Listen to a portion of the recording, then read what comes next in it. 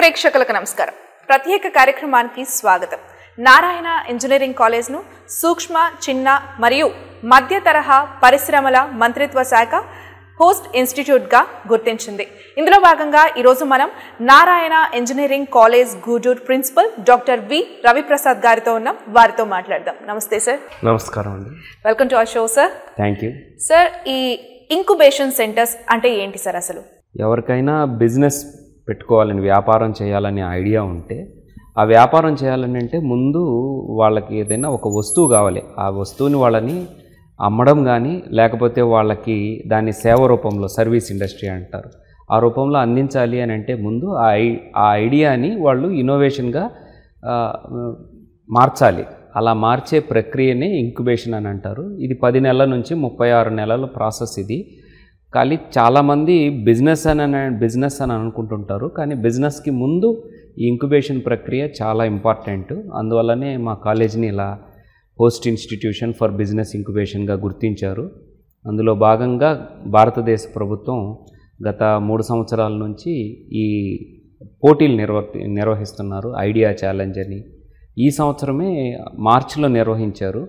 ఎక్కువ ఆదరణ లభించడం వల్ల ఇది రెండోసారి కూడా పెడుతున్నారు. ఈ అక్టోబర్లో కూడా ఇంకోసారి పెట్టారు. ఈ వర్షన్ నేమ్ వచ్చి MSME idea hackathon two point two okay ఈ హ్యాకథాన్ ఈవెంట్ అంటే ఏంటి సార్ హ్యాకథాన్ ఈవెంట్ అంటే విద్యార్థులు లేదా బయట ఎవరైనా భారతదేశ పౌరులు ఎవరికైనా సరే వారికి ఈమెయిల్ ఉన్న ఫోన్ నంబర్ ఉన్నా చాలు. వాళ్ళకి ఎవరికైనా సరే ఒక మంచి ఆలోచన ఉంటే వ్యాపారం చేసేదానికి కావాల్సినటువంటి ముఖ్యమైనటువంటి ఆలోచన ఉంటే ఆ ఆలోచనని ఒక ఇన్నోవేషన్గా ఒక ఆవిష్కరణగా మార్చి ఆ ఆవిష్కరణ మార్చిన తర్వాత దాన్ని ఒక వస్తు రూపంలో వస్తు రూపం దాల్చిన తర్వాత ప్రూఫ్ ఆఫ్ కాన్సెప్ట్గా మార్చి దాన్ని మార్కెట్లో తీసుకెళ్ళేదానికి ఒక అవకాశం ఉంటుంది. సో ఎవరైనా సరే వ్యాపారం చేయాలి ఏదైనా ఒక ఆలోచనతోటి ఉంటే ఆ ఆలోచనని మేము పెంచి ప్రోత్సహించేదానికి ఈ పోటీ నిర్వహిస్తున్నారు ప్రతి సంవత్సరం. ఓకే. అసలు ఈ హ్యాకథాన్లో ఏం జరుగుతుంది? హ్యాకథాన్లో ఎవరికైతే ఐడియాస్ ఉన్నాయో వాళ్ళు వచ్చి ముఖ్యంగా ఒక ఆన్లైన్ ప్రక్రియ ఉంటుంది. దాంట్లో వాళ్ళు వాళ్ళ ఆలోచనల గురించి కొన్ని వివరాలు పొందుపరచాలి. చాలా సులభమే అది. కానీ ఎవరికైనా కానీ మహామహా చదువుకున్న వాళ్ళకి కూడా రాయడం అని అంటే కొంచెం కష్టమే. అది కూడా ఎక్కడో దూరంగా కూర్చొని మూడు మూడు స్థాయిల్లో దాన్ని స్క్రూటనీ చేస్తారు. అంటే ఏ పోటీ అయినా కానీ ఎలిమినేషన్ అనేది ఉంటుంది. మొదట మా కాలేజీ స్థాయిలోని హోస్ట్ ఇన్స్టిట్యూషన్ బిజినెస్ ఇంక్యుబేషన్లోనే మేమే ఒక కమిటీ వేసుకొని మా హోస్ట్ ఇన్స్టిట్యూషన్ ద్వారా పెట్టిన ఆలోచనలు ఐడియాస్ అన్నిటిని మేము స్క్రూటనీ చేస్తాము.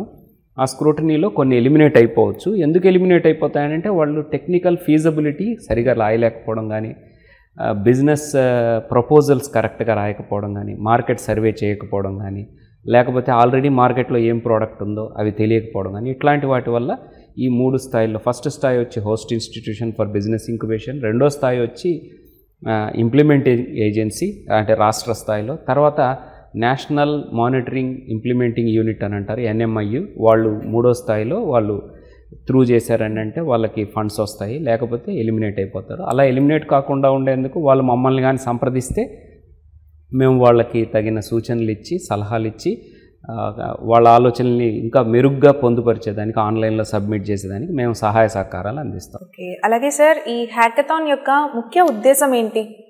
హ్యాకథాన్ మంచి ప్రశ్న అండి. మా హ్యాకథాన్ ముఖ్య ఉద్దేశం అని అంటే అక్కడ విద్యార్థులందరూ కూడా విద్యార్థులు లేకపోతే ఈవెన్ వయసు వయసు ముదిరిపోయిన వాళ్ళు కూడా చాలామంది వస్తుంటారు హ్యాకథాన్కి. వాళ్ళు ఈ హ్యాకథాన్కి వచ్చినప్పుడు అందరూ కలుసుకుంటారు. ఒకటే ఆలోచన ఇప్పుడు భారతదేశం మొత్తం మీద జరుగుతుంది ఈ పోటీ. ఈ ఒకటే ఆలోచన ఉండేవాళ్ళు ఒక నాలుగురు ఐదుగురు కానీ కలుసుకున్నప్పుడు వాళ్ళ పని ఇంకా సులభం అయిపోతుంది. అలా సులభం అవ్వడం వల్ల వాళ్ళు రాణించేందుకు ఇంకా అవకాశాలు ఎక్కువ ఉంటాయన్నమాట. ఇంకొకటి వాళ్ళు ఇంక్యుబేషన్ సెంటర్ని అప్రోచ్ అయినప్పుడు ఇంక్యుబేషన్ సెంటర్ అకాడమిక్ ఇన్స్టిట్యూషన్లో ఉండేది ఒక ఇంజనీరింగ్ కాలేజీలో ఉండేది. ఇంజనీరింగ్ కాలేజీలో దాదాపుగా నూట ముప్పై మంది ఇంజనీరింగ్ చదివిన అధ్యాపకులు ఉంటారు. ఇంజనీరింగ్ బోధించే అధ్యాపకులు పిహెచ్డి ఎంటెక్ పిహెచ్డి చేసిన అధ్యాపకులు ఉంటారు. అది కూడా అన్ని విభాగాల్లోంచి ఉంటారు.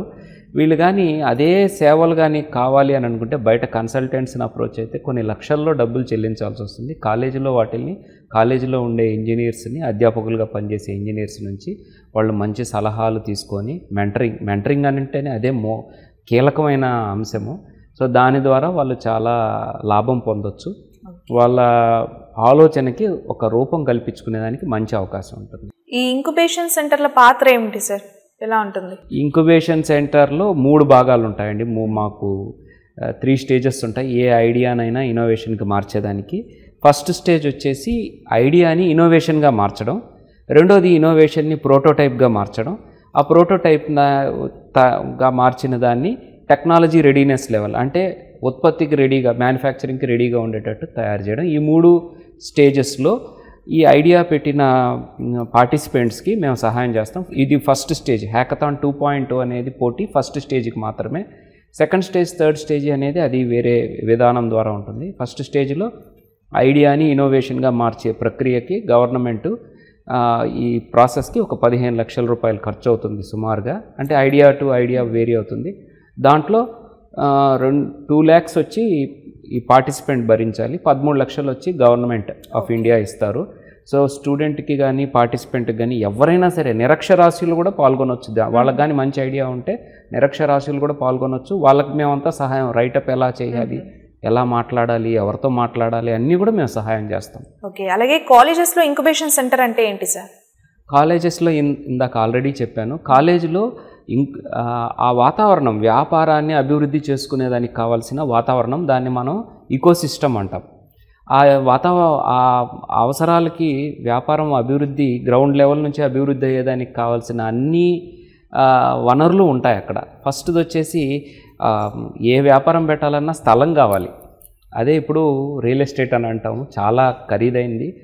మనం ఒక షాప్ కానీ లేకపోతే ఒక ఫ్యాక్టరీ కానీ బాడుకు తీసుకుంటే చాలా ఖర్చు అవుతుంది మా కాలేజీలో హోస్ట్ ఇన్స్టిట్యూషన్లోనే మేము కొంత స్థలం కేటాయిస్తాము. తర్వాత ఇంటర్నెట్ కంప్యూటరు ప్రింటర్ ఇట్లాంటి అవసరాలు ఉంటాయి ఆఫీస్ అవసరాలు ఉంటాయి అవి కూడా మా కాలేజీలో అన్నీ అందుబాటులో ఉంటాయి. అవన్నీ ఇస్తాం. ఇంక్యుబేషన్ సెంటర్లో ఇంక్యుబేటికి అందిస్తాము.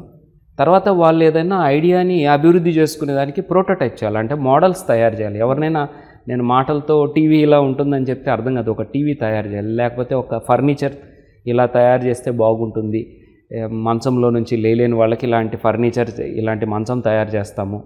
వయోవృద్ధుల కోసము అనేటటువంటి ఒక ఐడియా ఉంటే అలాంటి మంచం తయారు చేయాలి అని అంటే ఫస్ట్ వర్క్షాప్ కావాలి వాళ్ళకి. వర్క్షాపు మెషిన్స్ టూల్స్ కావాలి. అవన్నీ ఇంజనీరింగ్ కాలేజ్లో ఉంటాయి. ప్లస్ వాళ్ళకి అసిస్టెన్స్ కావాలి. అంటే వాళ్ళే చేసుకోలేరు. ఎవరికైతే ఐడియా ఉంటుందో వాళ్ళు చేసుకోలేరు. వాళ్ళకి టెక్నీషియన్స్ అవసరం ఉంటుంది. ఇంజనీర్స్ అవసరం ఉంటుంది. డిజైన్ సాఫ్ట్వేర్స్ అవసరం ఉంటుంది.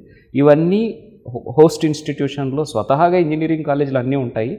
వాటిని గవ గవర్నమెంట్ ఒక మూడు సంవత్సరాల నుంచి వాటిని స సద్వినియోగం చేసుకోవాలని ఇలా కొన్ని కాలేజెస్ని గుర్తించారు. కేవలం అరవై కాలేజీలు మాత్రమే ఉన్నాయి ఆంధ్రాలో హోస్ట్ ఇన్స్టిట్యూషన్ గుర్తింపుతోటి. వాటిల్లో రెండు కాలేజీలకు మాత్రమే ఐడియా శాంక్షన్ అయినాయి. అందులో నారాయణ ఇంజనీరింగ్ కాలేజ్ గూడూరు ఒకటి. మా దగ్గర అంత శక్తి సామర్థ్యం అన్నీ ఉన్నాయి. ఎవరు వచ్చినా ఐడియా తీసుకొని వస్తే ఆ ఐడియాని మేము దాన్ని ఫినిష్ అయ్యే వరకు తీసుకెళ్ళగలిగే శక్తి సామర్థ్యాలు మాకున్నాయి. సార్ అలాగే ఈ స్టార్టప్ల కోసం ఇంక్యుబేషన్ పాత్ర ఏంటి సార్? స్టార్టప్ ఇంతకుముందే నేను ఒక అంశం మీద చెప్పాను. స్టార్టప్ స్టార్టప్కి ఆ ఈకో సిస్టమ్ చాలా ఇంపార్టెంట్. బిజినెస్కి స్టార్టప్కి బిజినెస్ అని అంటే ఆల్రెడీ ఎగ్జిస్టింగ్ మోడల్ ఉంటుంది వాళ్ళ దగ్గర. ఎలా సంపాదించాలి? ఎలా రాబడి ఎలా చూసుకోవాలి? ఎలా లాభాలు లాభాల్లోకి ఎలా వెళ్ళాలి? ఏ సేవ అందించాలి? వాళ్ళ దగ్గర ఖచ్చితమైన ఫిక్స్డ్ రోడ్ మ్యాప్ ఉంటుంది. అటువంటి వాళ్ళందరూ బిజినెస్ అని అంటారు అనమాట ఏవైతే పది సంవత్సరాల లోపల ఉంటాయో వంద కోట్ల లోపల టర్న్ ఓవర్ ఉంటాయో వాటిల్ని స్టార్టప్స్ అంటారు. వీళ్ళ దగ్గర ఎటువంటి రోడ్ మ్యాప్ ఉండదు. వీళ్ళ దగ్గర ఎటువంటి సర్వీస్ బెంచ్ మార్క్స్ ఉండవు. వీళ్ళంతా డిస్రప్టివ్ థాట్ ప్రాసెస్ అంటే మార్కెట్లో ఉన్న వాళ్ళకి విభిన్నంగా ఉంటారు. అందుకనే దీన్ని హ్యాక్ అని అంటారు. హ్యాక్ అని అంటే ఏంద్రా అంటే ఒక ఆశ్చర్యం అంటే ఇది ఇలా కూడా చేయొచ్చా? అంటే మార్కెట్లో ఇప్పుడు సే ఫర్ ఎగ్జాంపుల్ ట్యాక్సీలు ఉన్నాయి ఇంతకుముందు. దాన్ని ఓలా ఊబర్ అని వచ్చి అగ్రిగేటర్స్ వచ్చారు. వాళ్ళని చూసి ఓహో ఇలా కూడా చేయొచ్చు. వీడికి ఒక్క ట్యాక్సీ కూడా లేదు. ఓయో వాళ్ళు వచ్చాడు. వీడికి ఒక్క రూమ్ కూడా లేదు. కానీ హోటల్ ఇండస్ట్రీలో దిగ్గజం అయిపోయాడు వీడు. అని ఒక్కసారిగా హ్యాక్ అని అంటేనే అదే అనమాట ఒక మంచి విషయంతో జనాల్ని ఆశ్చర్యపరచడం అనమాట అంటే దీన్ని ఇలా కూడా చేయొచ్చా? ఇలానే చేయాలి. ఇప్పుడు మామూలు హోటల్ ఇండస్ట్రీలో ఉంటుంది. ఇలానే చేయాలి అని ఇలానే కాదు ఏమీ లేకుండా ఇప్పుడు స్విగ్గీ జొమాటో ఉంది. వాళ్ళకి ఒక్క హోటల్ కూడా లేదు ప్రారంభించింది మొదట్లో. వాళ్ళ అగ్రిగేటర్స్. ఇట్లా కొత్త ఆలోచన విధానంతో కొత్త సేవలు అందించేదానికి ఇప్పుడున్న మార్కెట్లో ఉన్న మొబైల్స్ అయితేనేమి ల్యాప్టాప్స్ అయితేనేమి ఇంటర్నెట్ ద్వారా కొత్త సేవలు ఎలా అందించగలము కొత్త ప్రోడక్ట్స్ ఎలా అందించగలం? తక్కువ కాస్ట్లో ఎలా అందించగలం? ఎక్కువ ఎఫిషియన్సీతో ఎలా అందించగలం? ఇలాంటి వినూత్నమైన ఆలోచనలు ఉండే వాళ్ళందరికీ ఇది ఒక మంచి అవకాశము. వాళ్ళు వాళ్ళ పెట్టుబడి తక్కువ పెట్టుకొని గవర్నమెంట్ నుంచి ఎక్కువ సహాయ సహకారాలు తీసుకోవచ్చు ఈ హ్యాకథాన్ టూ పాయింట్ టూ ద్వారా. ప్రత్యేక కార్యక్రమంలో ఇప్పుడు ఒక చిన్న విరామం.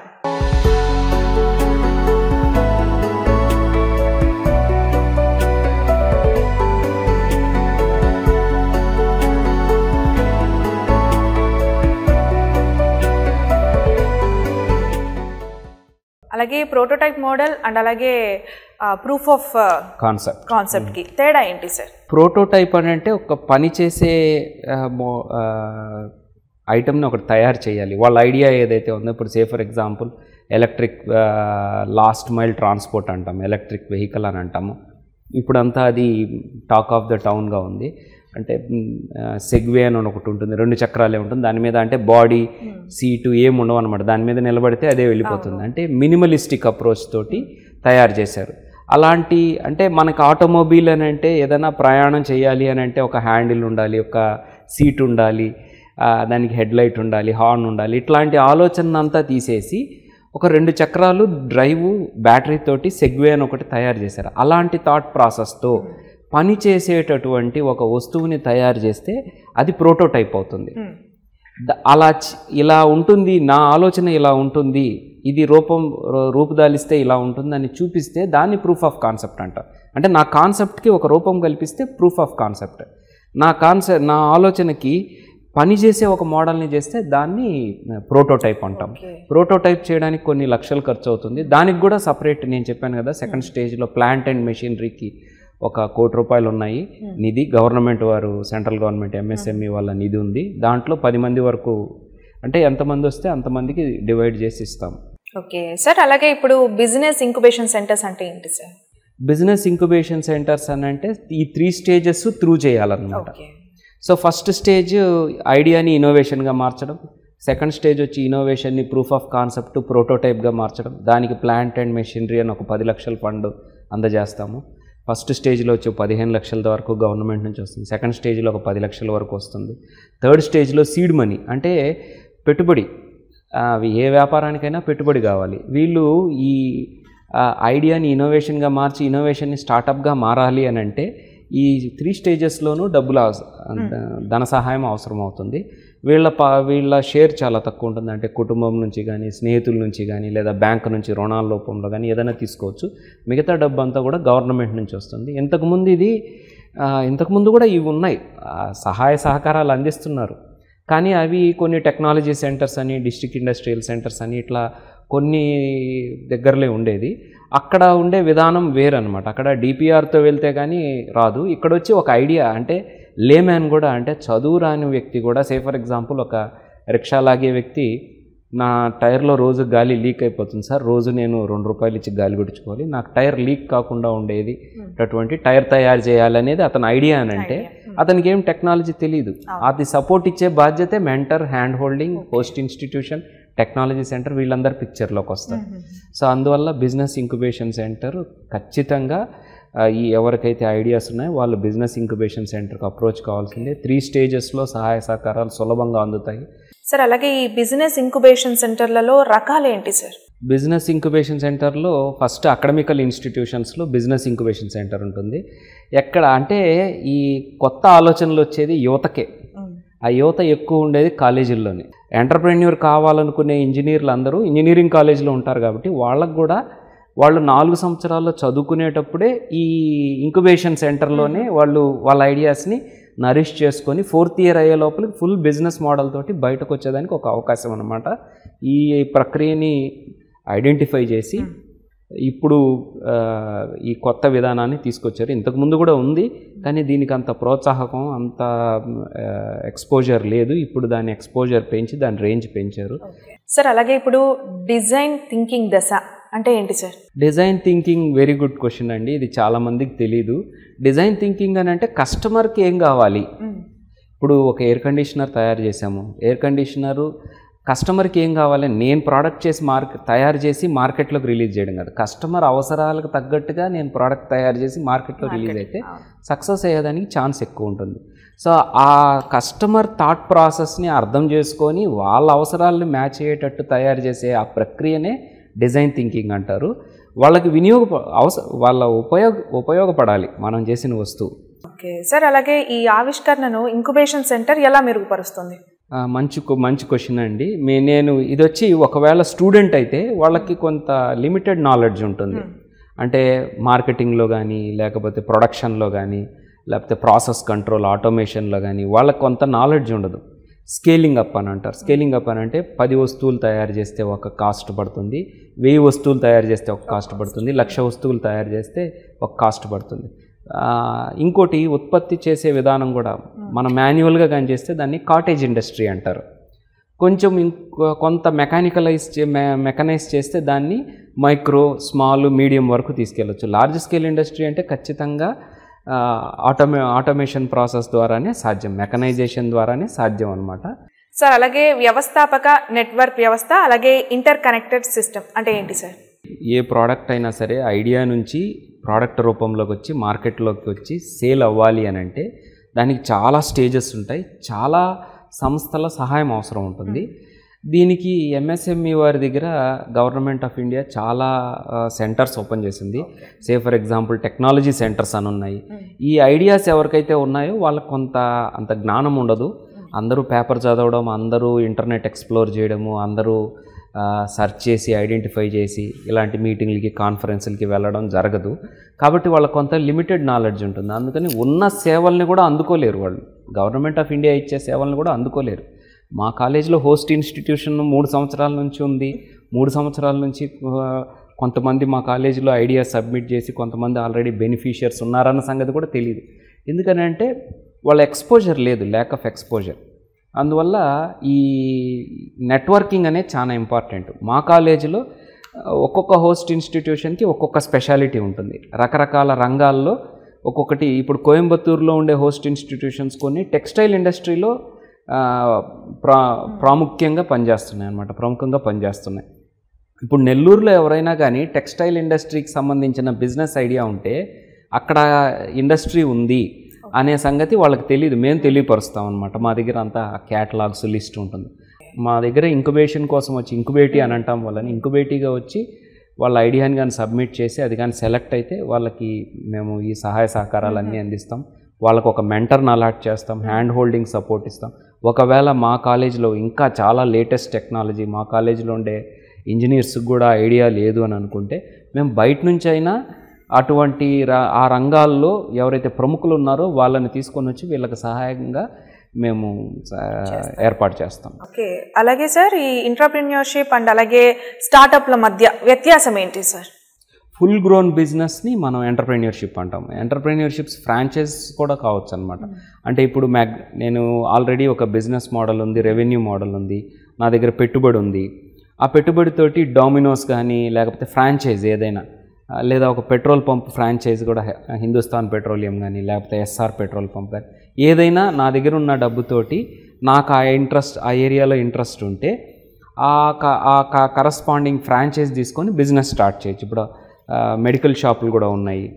గ్రీన్ అండ్ రెడ్ అని కొన్ని మెడికల్ షాప్స్ ఉన్నాయి. నాకు ఒక ఐడియా ఉంటే ఆ ఐడియాకి ఎంత డబ్బులు అవుతాయి? దానికి ఆల్రెడీ ఎవరైనా పెట్టున్నారా? ఫ్రాంచైజెస్ ఉంటాయి కదా వాళ్ళని అప్రోచ్ అయ్యి వాళ్ళకి ఇంతనని దానికి ఆ లైసెన్స్ తీసుకొని అదే బిజినెస్ వాళ్ళే ఫార్ములాతోటే రన్ అవుతుంది. ఆ వచ్చే ప్రక్రియనే స్టార్టప్ అని అంటారు అనమాట అంటే బిజినెస్లో తప్పు తడికలు చేస్తా బుడిబుడి నడకలు వేస్తా దోగాడుతూ అట్లా నిదానంగా స్టెప్ బై స్టెప్ వచ్చే వాళ్ళని అందరినీ స్టార్టప్స్ అంటారు. సార్ అలాగే ఇప్పుడు ఈ hackathon two point O theme బేస్లో కొత్తదనం ఏంటి సార్? మీరు ఆ థీమ్ బేస్డ్ అనేదే కొత్తదనం. ఇంతకుముందు ఏమీ లేదు. లిమిటెడ్గా లిమిటెడ్ రేంజ్లో ఈ ఈ రంగాల్లోనే ఆలోచనలు ఉండాలి అని ఏం లేదు. కానీ ఈసారి వచ్చేసి ఒక పదిహేను రంగాలు ఇచ్చారు. అంటే ఎవరైతే ఐడియా సబ్మిట్ చేస్తున్నారో వాళ్ళేమీ నిరుత్సాహపడాల్సిన అవసరం లేదు. ఈ పదిహేను రంగాలు పదిహే ఫిఫ్టీన్ సెక్టార్స్ కూడా చాలా బ్రాడ్. అంటే ఇప్పుడు say for example digital health care digital health care అనేది ఒక broad range area. EV sector EV sector అంటే ఎలక్ట్రిక్ వెహికల్స్ అదొక బ్రాడ్ రేంజ్ తర్వాత డిజిటల్ అగ్రికల్చర్ అదొక బ్రాడ్ రేంజ్ అట్లా వాళ్ళు ఒక పదిహేను రంగాలు ఇచ్చారు. ఆ పదిహేను రంగాల్లో వేస్ట్ టు వెల్త్ అని వేస్ట్ మేనేజ్మెంట్ అని ఇట్లా ఒక పదిహేను రంగాలు ఇచ్చారు. ఈ పదిహేను రంగాలు కూడా చాలా బ్రాడ్ రేంజ్ ఈ ప్రజలు ప్రజలకు వచ్చే సామాన్య మానవులకు వచ్చే ఐడియాస్ అన్నీ కూడా ఈ రంగాల్లోకి ఏదో ఒక రంగంలోకి ఖచ్చితంగా ఇముడుతుంది. మనం దాన్ని సక్సెస్ఫుల్గా ఐడియా నుంచి ఇన్నోవేషన్గా మార్చవచ్చు ఇబ్బంది ఏం లేదు. సార్ అలాగే ఈ హ్యాకథాన్ అప్లై చేసుకోవడానికి లాస్ట్ డేట్ అండ్ అలాగే వెబ్సైట్ వివరాలు కూడా తెలియజేస్తారా? Hackathon two point last date వచ్చి ఫోర్టీన్త్ అక్టోబర్ ఈసారి చాలా షార్ట్ డ్యూరేషన్ పెట్టారు. సెకండ్ అక్టోబర్ నుంచి ఫోర్టీన్త్ అక్టోబర్ మేము వివిధ మాధ్యమాల ద్వారా అందరికీ తెలియజేస్తున్నాము. భారతదేశ ప్రభుత్వం కూడా తెలియజేస్తున్నారు. దీన్ని లాగిన్ అయ్యి చూసు డీటెయిల్స్ చూసుకోవాలి అని అంటే my MSME dot gov dot in అనే వెబ్సైట్ని ఆశ్రయించవచ్చు లేదా ఎవరైనా ఇంట్రెస్ట్ ఉండి ఐడియాని ఇన్నోవేషన్గా మార్చుకోవాలి గవర్నమెంట్ సహాయం తీసుకోవాలి ఇంక్యుబేషన్ సెంటర్ సహాయం తీసుకోవాలనుకుంటే వారు డైరెక్ట్గా నారాయణ ఇంజనీరింగ్ కాలేజ్ గూడూరుకు వచ్చి నన్ను సంప్రదించవచ్చు బిజినెస్ ఇంక్యుబేషన్ సెంటర్లో ఉంటాను నేను నన్ను సంప్రదించవచ్చు వాళ్ళకు ఉండే అనుమానాలు వాళ్ళకు ఉండేటటువంటి అపోహలు అన్నీ కూడా తీర్చుకోవచ్చు. Right sir thank you so much so wishing you all the very best sir మా యాక్ట్ తరపు నుంచి. So thank you sir thank you thank you very much sir so Vyas చూసారు కదా ఇది వాటి స్పెషల్ ప్రోగ్రామ్ మరో స్పెషల్ ప్రోగ్రాంలో మళ్ళీ కలుద్దాం. అంతవరకు సెలవు. నమస్కారం.